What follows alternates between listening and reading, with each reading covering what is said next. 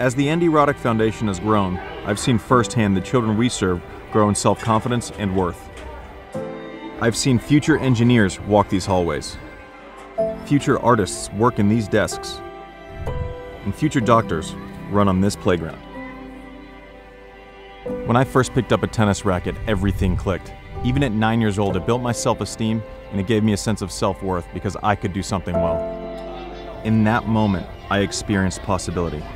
That's the feeling we want to recreate for kids. Kids who feel left out and forgotten. And we're going to give them every chance to discover their full potential. There is more to life than just what they see at home. Being a part of that and opening up their world has been amazing.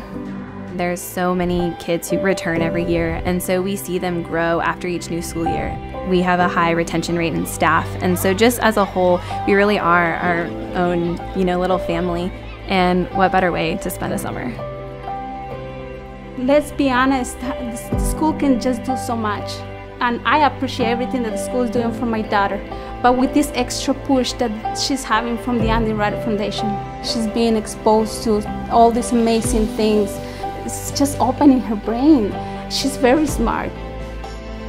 For my family and for my daughter, thanks to the Andy Roddick Foundation, uh, I was able to work full time, which helped me to keep up with my mortgage and pay my bills and all that. I appreciate everything that you're doing for all of us and uh, me personally and my daughter. Thank you.